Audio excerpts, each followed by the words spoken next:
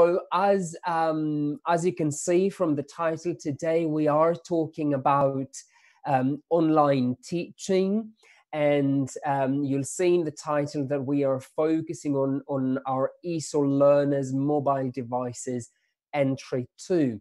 The reason why we say entry two there is because the examples I'm going to be using today are um, examples that that um, are suitable for in terms of the linguistic um, characteristics, they are suitable for entry two um, level learners, but the principles and the ideas are very much similar to um, to to online teaching uh, for, to to learners of other levels as well.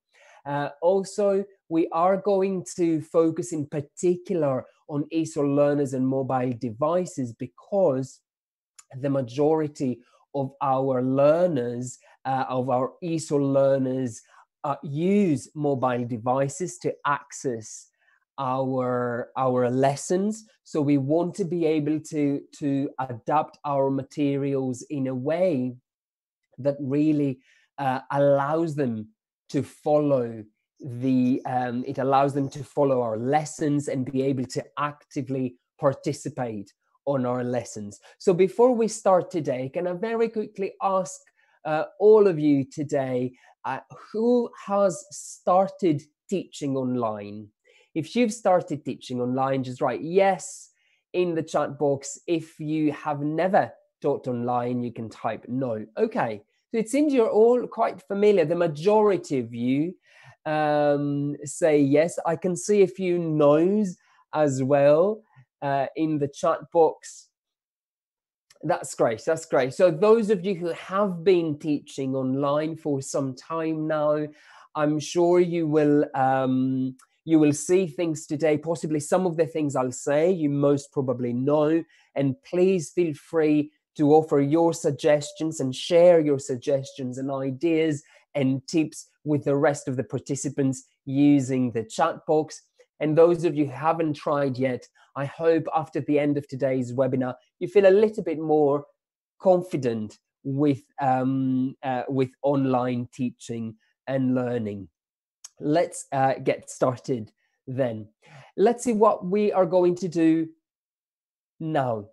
Uh, so today we will start looking at a traditional, if you like, lesson, a lesson that is aimed at entry two level learners who are um, uh, in a in a in a physical classroom.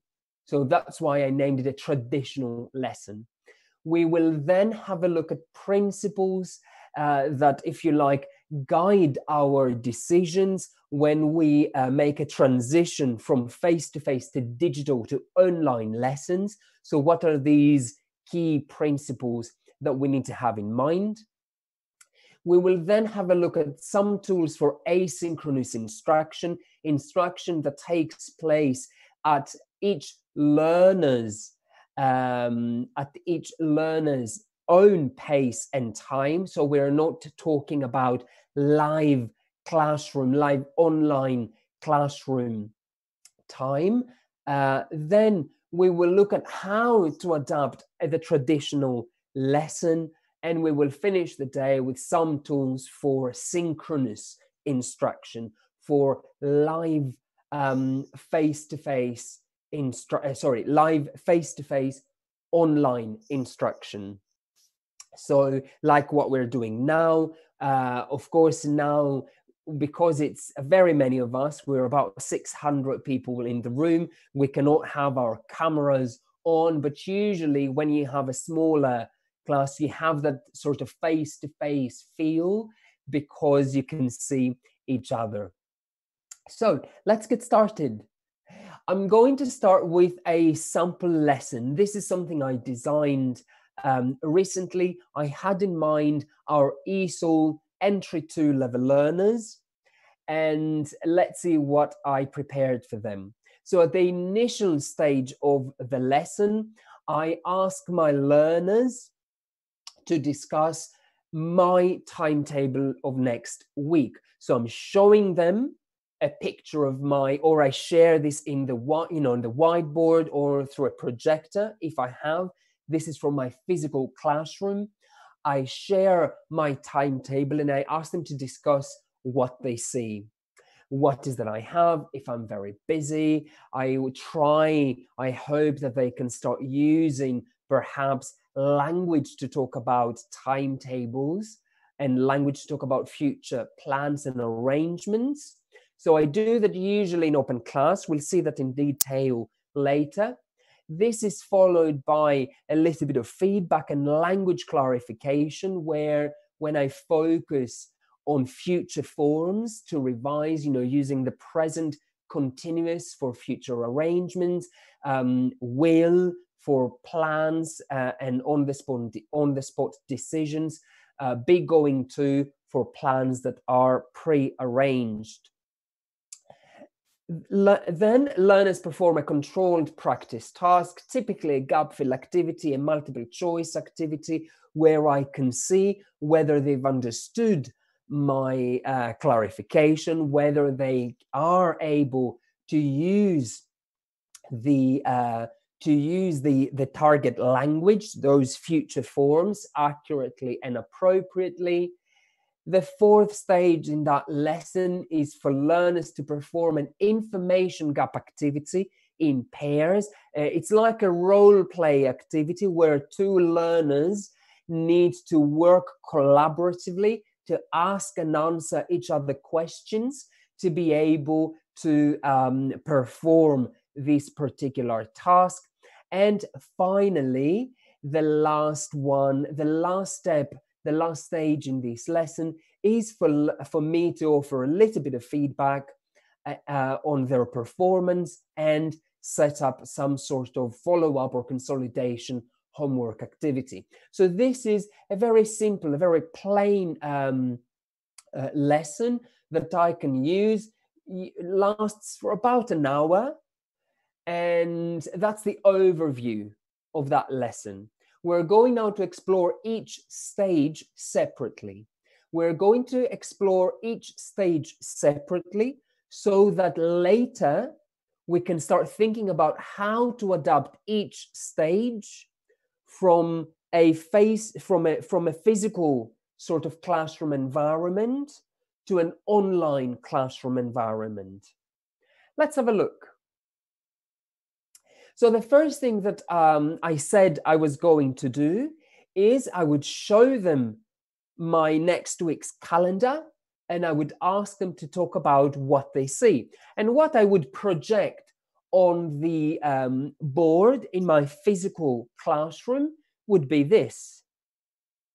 So this is my um, next week's uh, my, my, my next week's schedule. And uh, I can now invite the learners to talk about it. I can start by asking them perhaps questions. I can say, you know, things like, Am I free next Tuesday? and they can say, you know, what my timetable will be like next Tuesday, or I can ask them for particular, I can ask them about particular um, slots, if you like, and uh, they can talk about it.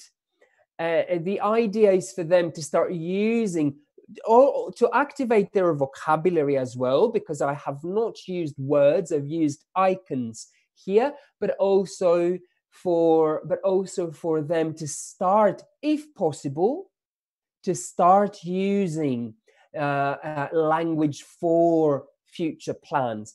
Again, if they don't have that language, I don't care, I don't worry. I have already created that mental gap where they understand that they need to use this language. Maybe they don't have it in English, so they know they need it. So later on, when I will start clarifying, they will be better able to grasp the meaning of the target language. So they discuss in plenary mode, and I monitor for language. I want to have a, I want to focus, I want to notice on the language they use. because I will use this, whatever I notice, I will use this for um, my next stage. Let's see what my second stage now is. Is oh, sorry. Before I go um, any further, I just want to say that I use this stage, uh, this particular stage, to, uh, if you like, to cater, to highlight, to start activating whatever language is relevant to criterion, to assessment criterion 2.2.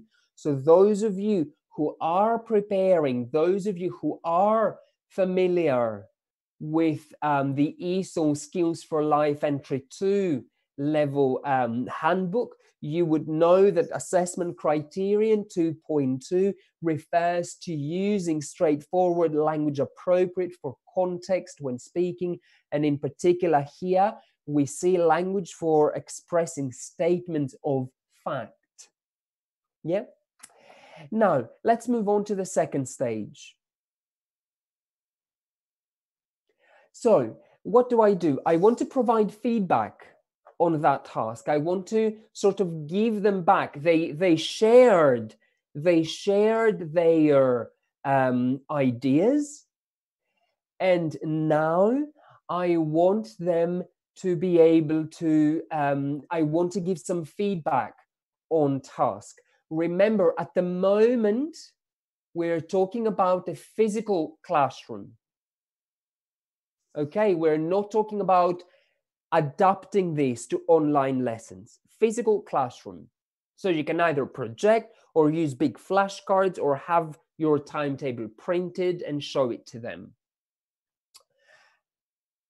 So after I give them some feedback, I can start clarifying language. Perhaps they used a future form accurately or they used the future form inaccurately.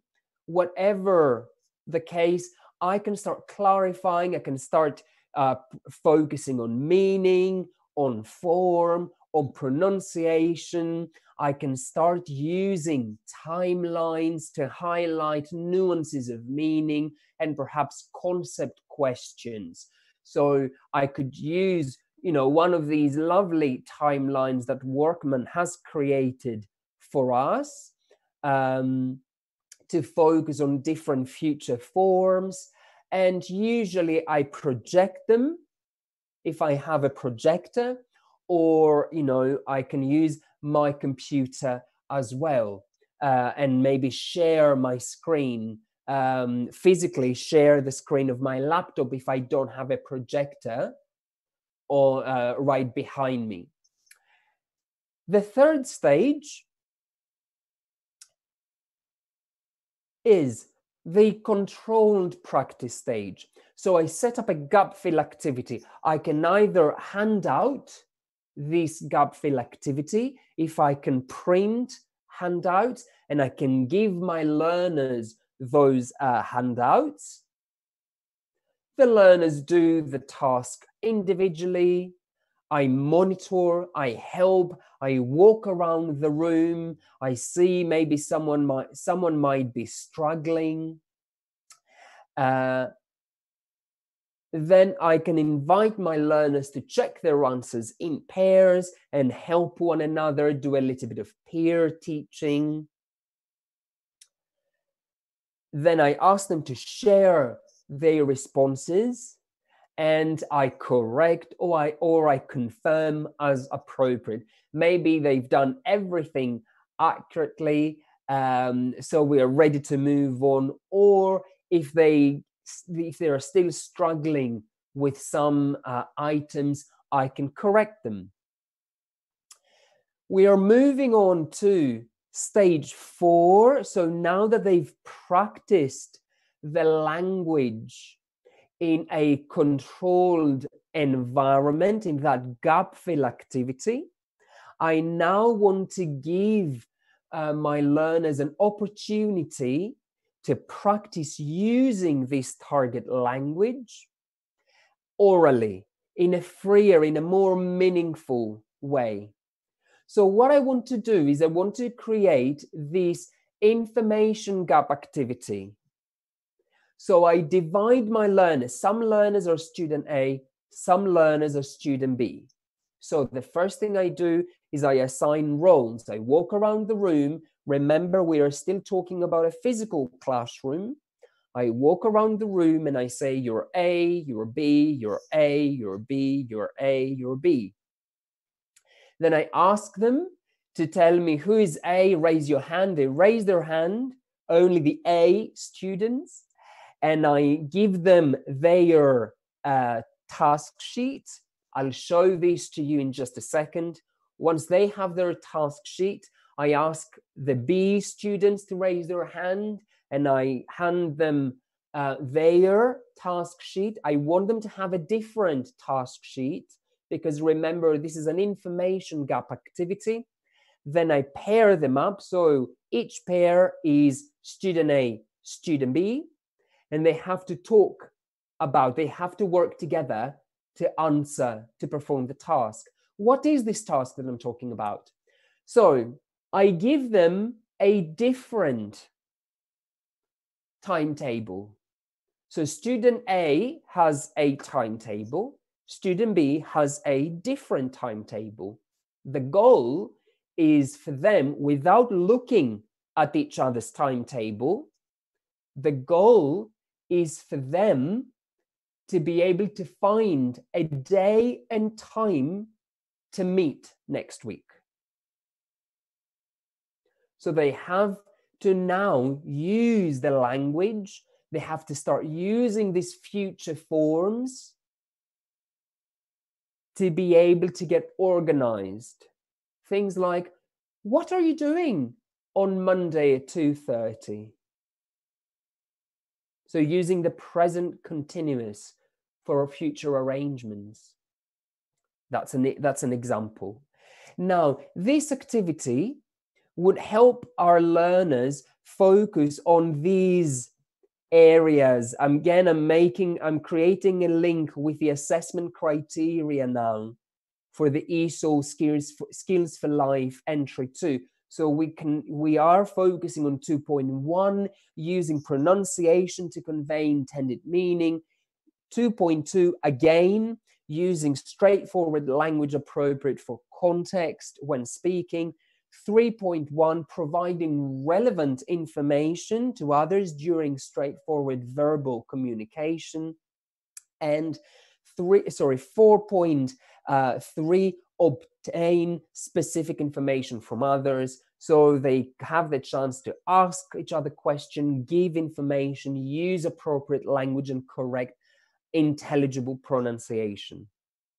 The last stage of this lesson of these uh, lesson that's for the physical classroom is to do a little bit feed a little bit of feedback on the whiteboard focusing on the learner's language identifying both correct and incorrect uses of the language doing some remedial work if need be. So if i see that there is a there is a problem that none of my learners can use say uh, will for on the spot decisions then i need to do something on the i need i really need to work on that before they leave the room.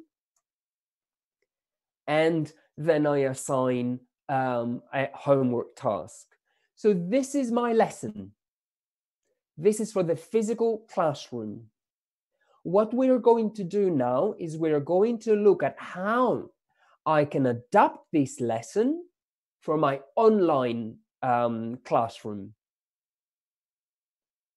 To do that, I need to start from some principles, if you like, some uh, guidelines that I have for myself. This is what I use before I make any sort of adaptation. This is what I keep in mind. And I can use this, I can use these set of principles to help me adapt any lesson at all. Any lesson I want. So, the first one everything takes longer when teaching online for the first time. And maybe for the second time, maybe for the third time. Yeah, I think those of you who have taught online for some time, I'm sure you agree with this. It takes longer. Second principle if learners can do something at home, let them do it at home. Do not use live classroom time, live online classroom time for things that can do at home. Usually, usually some institutions, their online teaching program is fewer hours than the face to face teaching program. But it is expected that you will cover the same amount of material. So it is important to make use of the time the learners have before they come to your class. It takes time. They will uh, be they will resist at first, but if you make sure that you do this nicely and in a manner that is engaging and that you try consistently, they might do it. During live class, vary interaction, uh, vary interaction patterns and vary task types. So make sure that you have, uh, well, I need to make sure because that's for me. I make I need to make sure that I have a variety of interaction type or interaction patterns. I talk to the learners, the learners talk to me, the learners talk to one another in groups. Then again, they share things with me, I share with them, and so on. But also task types. I cannot have the same activity over the same activity type over and over again. I need to vary it to ensure that learners are engaged and interested in my lesson. And finally, use technology that is simple for them, but most importantly, use technology that is useful for you, that is useful and simple, that you know how to use, that you're comfortable and confident with it. If you manage to use just a little bit of technology per lesson, it means you have better control over it. It means you can focus on other aspects during your lesson. So let's now see how I can use these principles to make to adopt my lesson plan. The lesson plan i showed you earlier we will stick with that for today. So this is the lesson plan exactly. It's exactly the same with what i showed you at the beginning.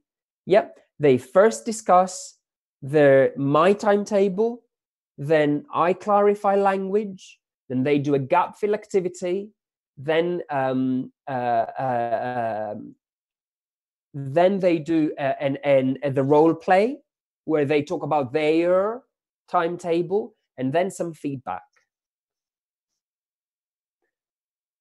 Now, of these ones, which stage can they do at home? Which is the one thing, the one um, bubble, if you like, that I can get rid of that they can do at home? People say some people say gap fill activity. Yes. Some somebody said the first one okay right okay. The homework of course yes. Someone says the presentation okay right. So i'll tell you i, I think I, well basically i think you can do all of them at home if you want to. But i think what you what is important is I prefer to use classroom time, even if it's online classroom time, for practice. Controlled, freer. I prefer to be able to be live with my learners when they do a practice task so that I can go and do some remedial work then and there. I think for me, I prefer to do for my learners to do the teaching uh, the teaching fronted if you like stage. I prefer if they do it at home. So usually in my lessons i'm not like what i'm today where i, I i've been talking to you for 30 minutes non-stop. I'm very sorry for that. Usually i want my learners to be able to access that part the teaching part if you like what's traditionally thought of as the teacher centered stage of the lesson. I prefer my learners to access this on their own so that we have more time in class for practice, for questions, for clarification. So let's have a look. The way to do that is by using a screencasting tool. A screencasting tool, if you are not aware, uh, if you don't know what it is, is a tool that allows me to capture my screen, whatever I show on my screen, and it allows me to add my voice on it. And it records a short video that I can then send to my learners. I use Screencast-O-Matic. So if if uh, uh, people people use Screencastify as well, I see this in the chat room. Absolutely, very very similar. Um, perhaps I, I think I use Screencast-O-Matic because I'm used to it. When I first started using it, I thought it was the easiest tool, and I'll show you here what to do, how to use it. So go to screencast-o-matic.com and you need to click on launch free recorder. If you can see my um, this little picture here, it says launch free recorder. If I click on this button, of course you don't need to do it now, then this pop-up window appears and what you need to do is you need to click, yes, I agree, open screen recorder launcher. So you need to click there and say open. And then what you see is this dotted line that appears around uh, your screen. Yeah, if you see here, it's all around the screen here.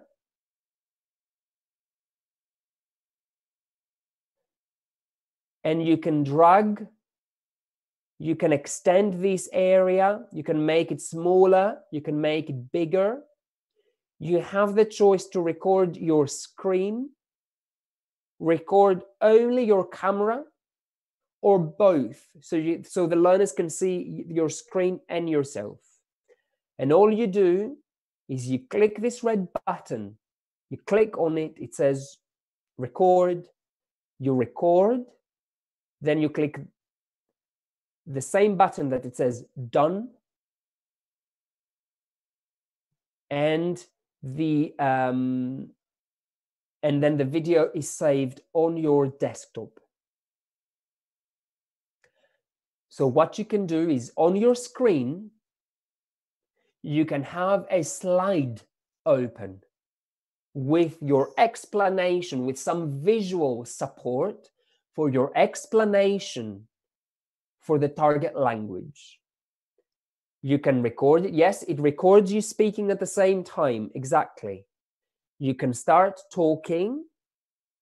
And then the learners, once this is ready, you save it on your desktop and then you can send it to your learners. And your learners can watch your short video that has the, it has captured the clarification of the language. People in the chat box are, are ask how long should it be? I think not more than five minutes. We need this to be very short. We need this to be very very short. If it is long the learners will not watch it if it is short then chances are they might they might watch it. So if it's nice, short and sweet and clear, they are prepared, they know the rules of the language, so when they start the lesson, when they start the live lesson, you can start with them asking you questions. Maybe they didn't understand something, maybe they want you to clarify something. Or you can go through it because I know we all have those learners who do not do the prep work. Yeah, so I know that we have those we have those learners who do not do the prep work and maybe some learners do it and some learners don't this is fine you can start your class with a very quick revision of that video. So those of your learners who have watched it it's good for them. And those who haven't watched it they watch it then and there. You can use zoom record if you are familiar with zoom and you you are very very you know you can do it absolutely. You can use any tool you like. The more tools you know the better i think this is a very easy and simple tool to use because not everyone uses zoom for their lessons there are some there are some um, uh, online virtual classrooms that does not allow for recording. That's why I think Screencast uh, Omatic or Screencastify are very good tools. Those of you who are familiar with Apple products, all Apple products have um, a screencast tool as part of the product. So we have QuickTime Player on our um, uh, desktops or laptops and we also have a screencast recorder on our phones.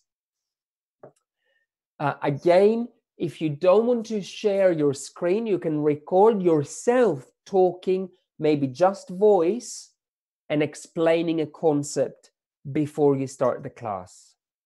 So that's one tool that you can use to help your learners access something before your lesson so that you create a little bit of room during your lesson for more practice. Next one. So we saw we saw that this one is no longer there, no more teaching. So already my lesson can be adapted to this. Instead of five uh, stages, now I have four. These are the same four that I showed you at the beginning. We start with a discussion of the timetable. They do the control practice task, the role play, and feedback at the end. Let's focus on how we can adapt our initial stage. So, in my physical classroom, I would have my learners discuss my timetable, the one I showed you earlier. I would monitor and I would clarify if necessary. So now what I can do in my online classroom environment is we can all be in our main room. The teacher shares their screen using the screen share function. Those of you who have been teaching for a while are familiar with it. Those of you who are new to online teaching, now we are in the main room. Now we are in the main room on the bottom of the screen, if you are the host, so not now, if you are the host, you can see a green button. It says share screen. You click on it and you choose the screen you want to share. So you have your timetable open in the background. And when the lesson starts, you choose share screen, the picture with a timetable, and then all your learners are looking at the timetable in the same way that all of you now are looking at my PowerPoint. So students can use their microphones and also students can use the chat function to share their, their uh, thoughts about your timetable. at the same time, it is important that you take notes of their language. You can use a physical notebook. I have here random pieces of paper around next to me where I use them to take notes of what my learners um, produce, because then I can use that later for feedback. Or I can open a Word document. Those of you who are more comfortable with working online, you can open a Word document and tie and type what your learners uh, your learners output you can keep it aside for now and later toward the end of the lesson you can use it to offer some feedback so the first you see the first bubble became a, a square like. It's ready to be used online. What about the second stage? Again the second stage that we see there that um, magenta uh, bubble is uh, for the physical classroom, where learners would be asked to perform a control practice task, this gap fill activity, and me, then I would give them feedback. So, how can I change this? How can I adapt this to the online classroom? Because, of course, yes, I could show them. I could use the screen share and I could share the um, the task sheet that has you know five gap fills, uh, five sentences with gaps, and they could perhaps uh, write their answers using the chat box. That's fine. It's a little bit boring. So if we can make it a little bit more exciting for our learners, what we can do is we can prepare a Kahoot before the lesson. Are you familiar with Kahoot? Some people say yes, some people say no. No worries, I'll show you one now. No worries, I'll show you one now. So you prepare a Kahoot game. You share your screen with your learners. And your learners answer each question one after the other. So if I may, I'll show you the Kahoot website. This is the Kahoot website here. This is what it looks like. What you need to do as the teacher is you need to log in. Your learners do not need to log in. So I will log in. It asks me to pay. I will not. It says thanks, maybe later. Please click on thanks, maybe later. So here it is. It remembers me. This is me. If I want, I can create a Kahoot or I can search for public, for publicly available Kahoots. So I have one. So if I go to, um, let me see, to Kahoots here, I have created one that I'm going to play with my learners tomorrow for speculation and deduction. If I click here on play,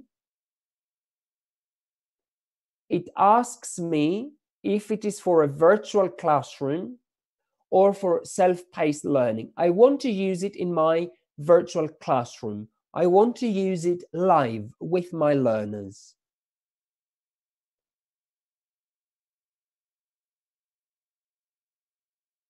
Player versus player. Yes, we want my I want my learners to do it individually. If I click on classic, then I'll show you the next screen. Please do not do what the next screen uh, says. I'll just show it to you, okay? Because we're not going to play the game now, but I'm just going to show you what happens. So if I click on classic,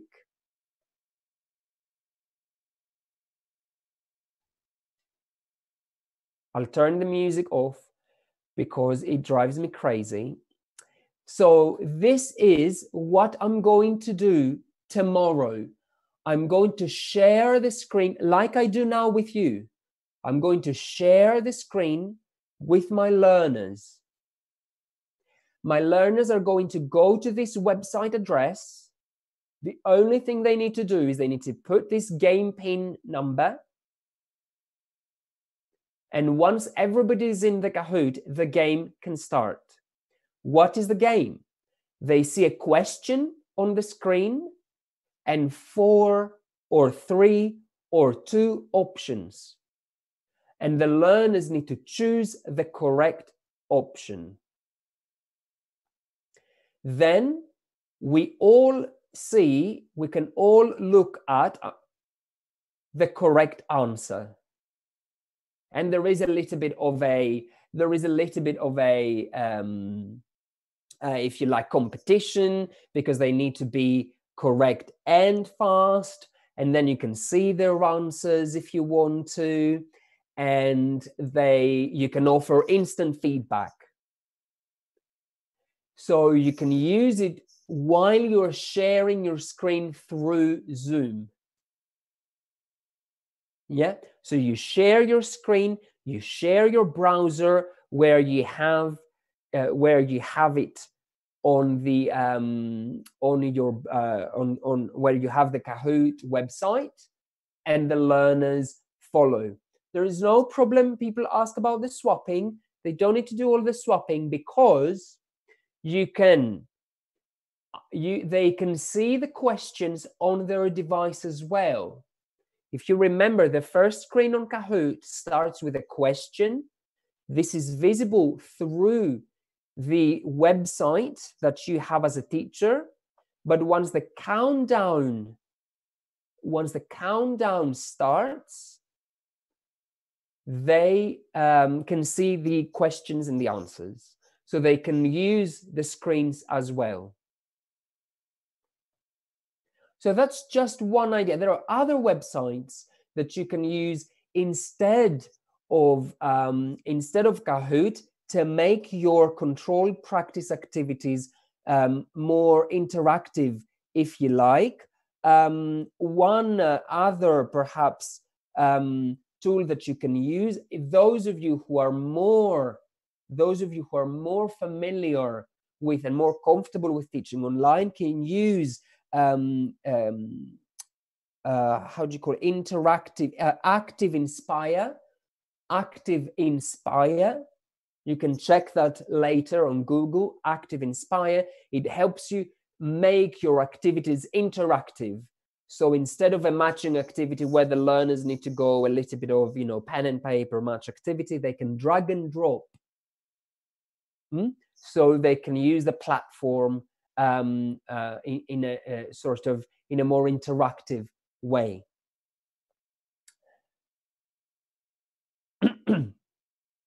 So second one, second stage done, became a square. It's sorry, a, rec- a, a rectangle. So that's ready for my online delivery. What about the third one? The um, information gap activity, the role play with the two different schedules. So what I can do is I can divide my learners in A's and B's. And my tip for any teacher around the world who wants to do this activity is make sure your learners rename themselves from the participants list. If they open the participants list, they can choose their name and they can select rename.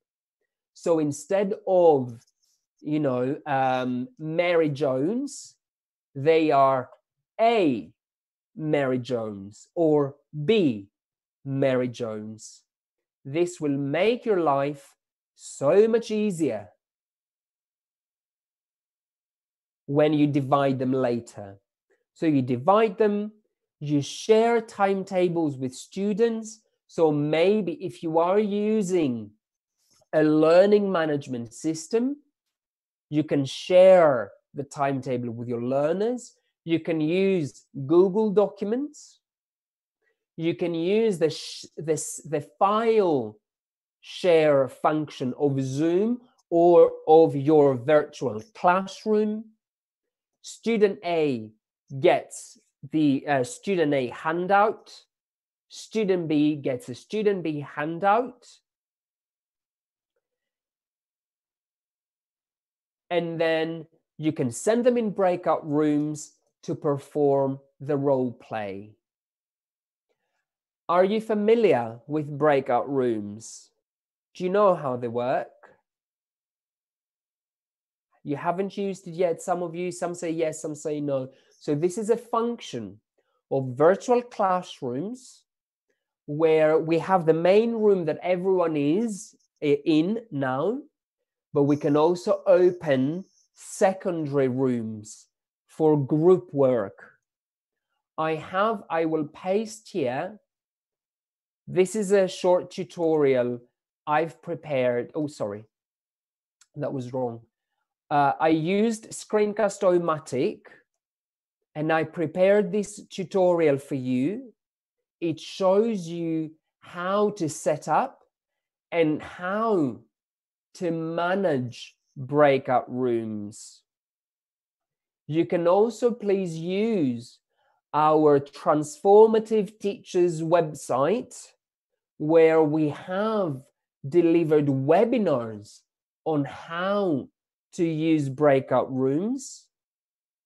And I know people say we cannot, you know, some of you haven't used it. It's not only for Zoom. No. You can find it on Google Meet. You can find it. Microsoft Team has breakout rooms, but they call them channels.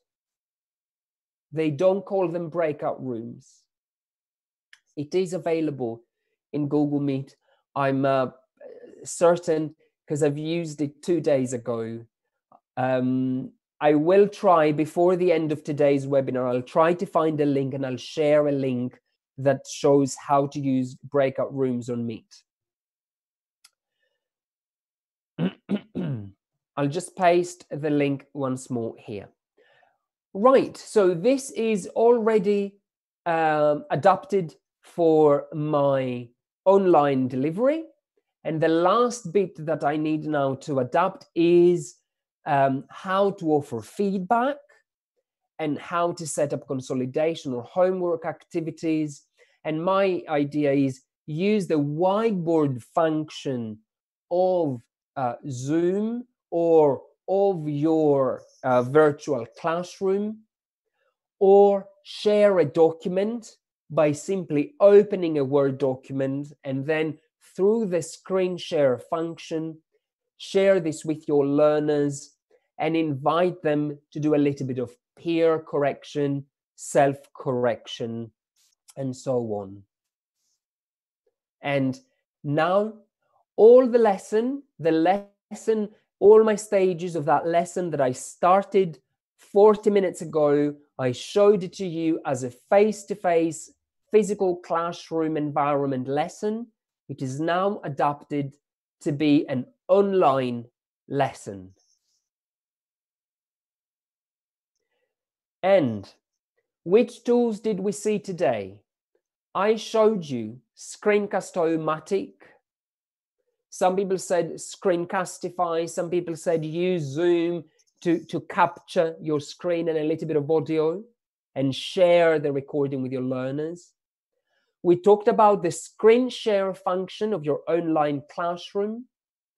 We talked about Kahoot.com for interactive game like controlled practice activities. We talked about renaming participants' names.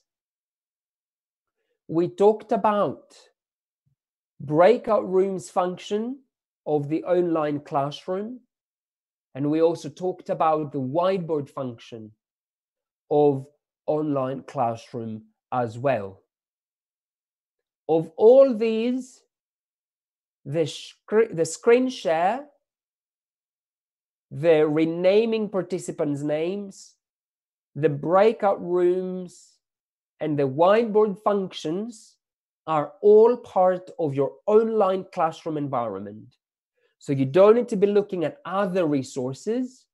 You can you should only stay with the functions and the affordances that your virtual classroom gives you.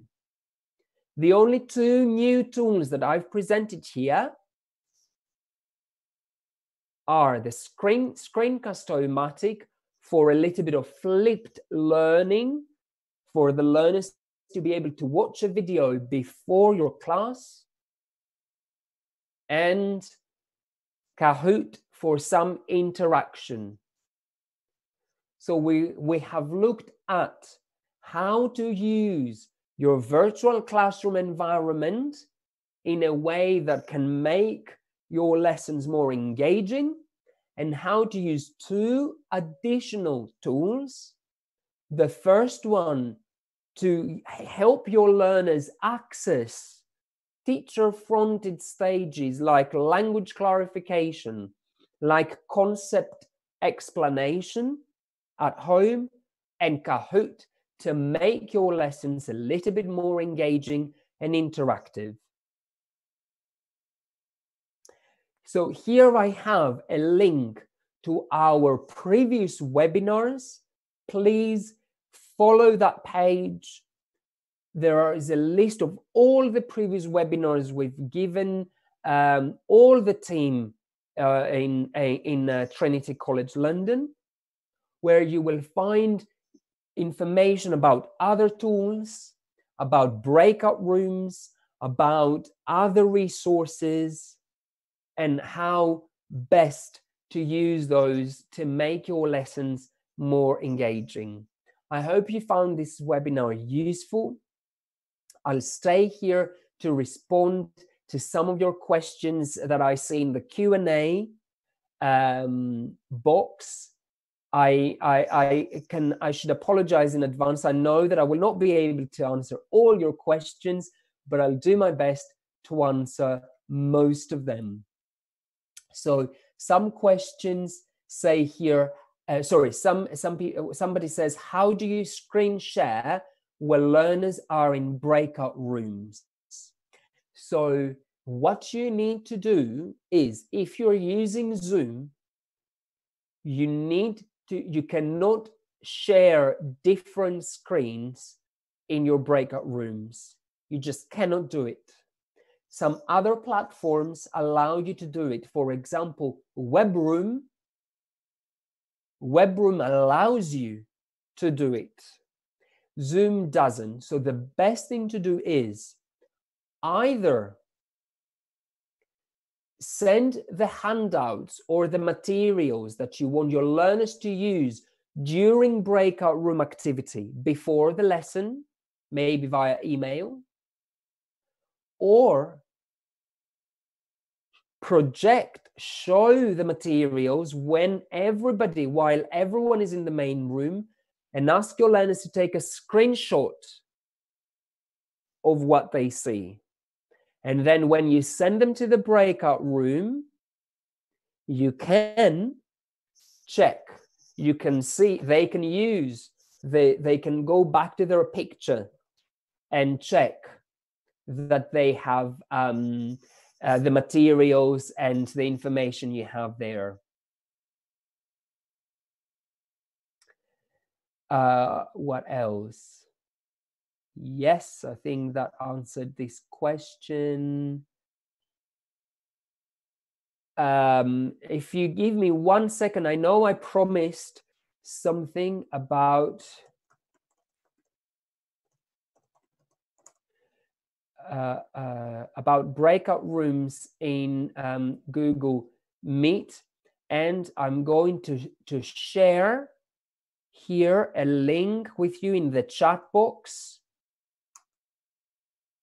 It tells you how you can activate breakout rooms in um, Google Meet. So that is there.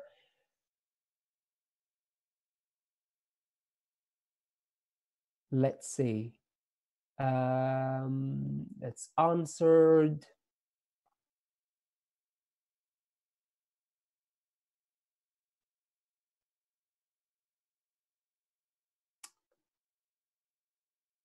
Yes, they are. Uh, somebody asked if learners can take a screenshot on their phone when they are using their phone to participate in the Zoom session. Yes, they can do that. Absolutely.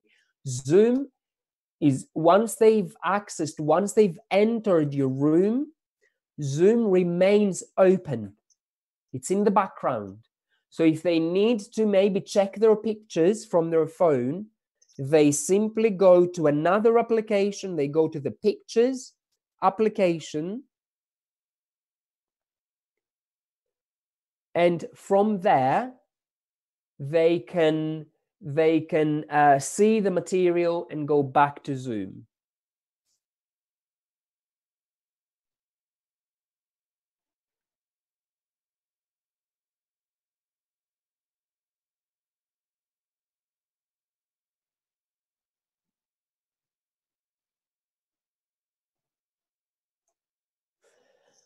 All right, everyone. So I'm going to stop here. Thank you very much for coming here today. I'm going to see you again tomorrow for our next webinar. Thank you very much. Have a very good evening.